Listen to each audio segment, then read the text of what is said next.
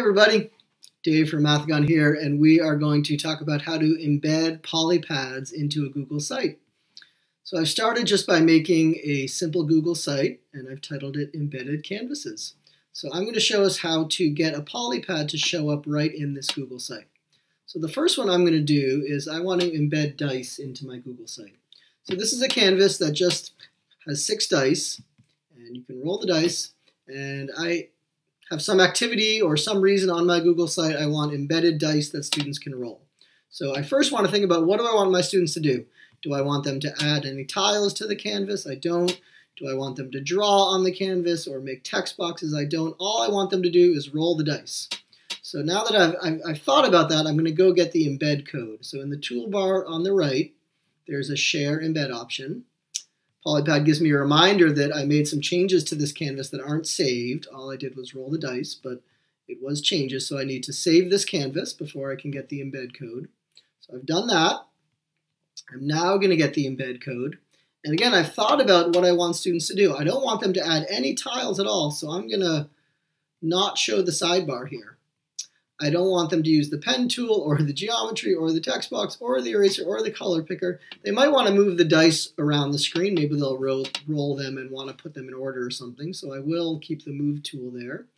I don't need anything in the settings bar. No full screen, no undo, no grid, no options, no download the image. They don't need to zoom in or zoom out. And I don't want them to copy or paste or delete or rotate. So all they're going to do is be able to roll and move. So I'm going to copy this code. This is the embed code and go to Google site. And one of the options to insert is embed. And I just got the embed code. So what I need to do is click on embed code and paste it here.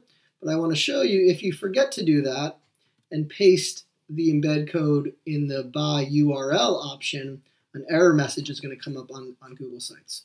So I'll get rid of that, go to the embed code and paste it in. Next. Gives me a preview. Yep, that, that looks about right. I will insert it. And there it is. Now, I could hit uh, preview right now to see what it's going to look like. I'm going to do that. We'll see if this looks like the embedded canvas that I want. There's the dice. If I click on a dice, I can randomize it. I can select all the dice and spin them. Great, there's the embedded canvas. I might want to take up more of the screen, so I will exit the preview mode, go to the embed code. I'm going to change the width to about 1200. Click Next, Save, and then I'll just drag this over to have it fill up more of the screen. All right, so I'm moving this over to about here. All right, that looks good. And then I can check out the preview of this as well. So I'll go to preview mode, see if it looks what I like. Yeah, I kind of like how that takes up the full screen. Click randomize. You can roll the dice.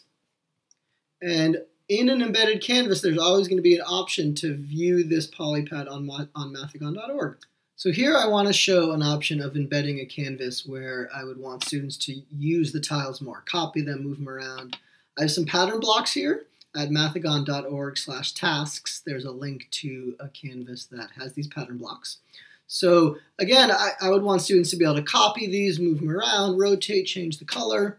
So when I go to share and embed, I don't want the sidebar again. I don't want them to add any tiles to the canvas, but I want them to move the tiles and maybe change the colors.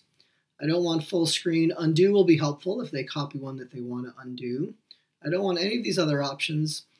They definitely want to copy paste. I don't want them to delete the original tiles. They can undo if they've copied one by mistake, and they can rotate. So there's my code. I copy it, go to embed canvas.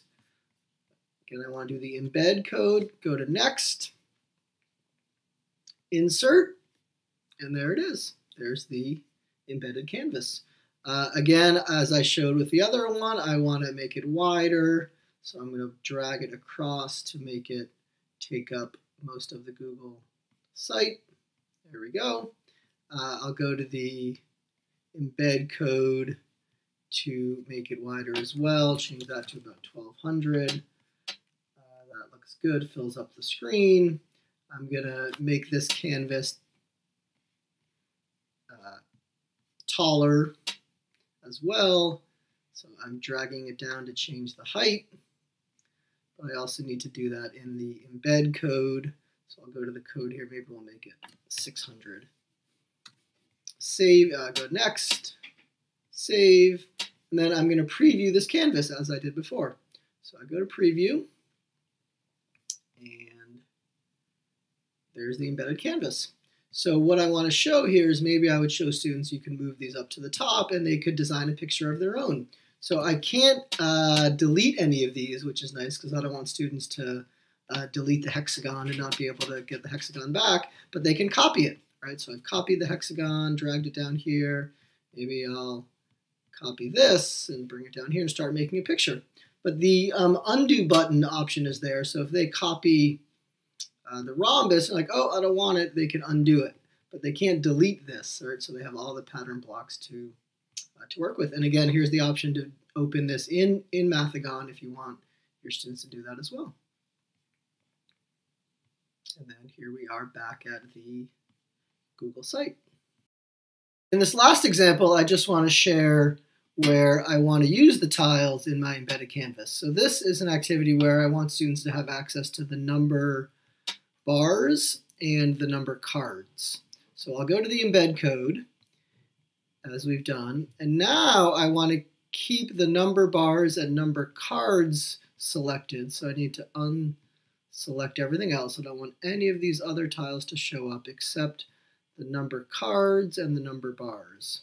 So I'm going through and unclicking all of these. Uh, I don't want pen tools or geometry or text box or eraser. We'll keep the color picker. They might need to undo. I don't want them to change the background and maybe zooming in and zooming out would be helpful. And we want them to copy, paste, delete, and rotate.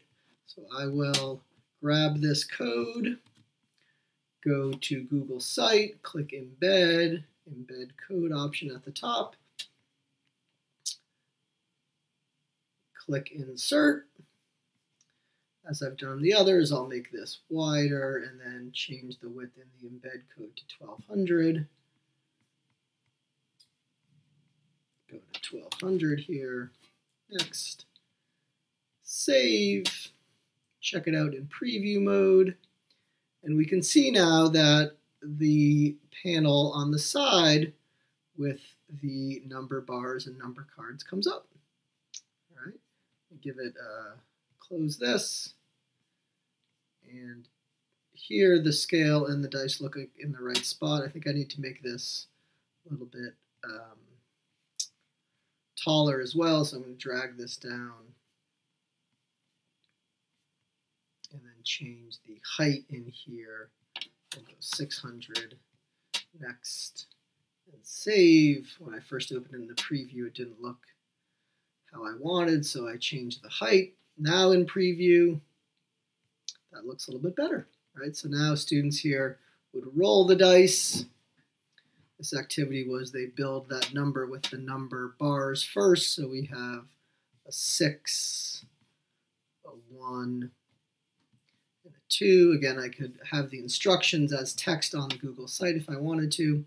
And then in this activity, kids build this on the scale as well. So 6, 1, 2. And then the task was to make this with some different combination of, of number bars. So maybe they'll do three and five and one seems to match up. And then we'll see if that balances on the scale. Three, five, and one. And it balances. There we go. So that's how you can choose to have certain tiles show up on the embedded canvas. I will close out of this and go back to the Google site. Great. So all sorts of great creations can be made on, on Google Sites with embedded canvases. Uh, this can work in WordPress and other sites as well where you can embed canvases. But this, uh, in this video, I showed you how to do it with, with Google Sites. Thanks for watching.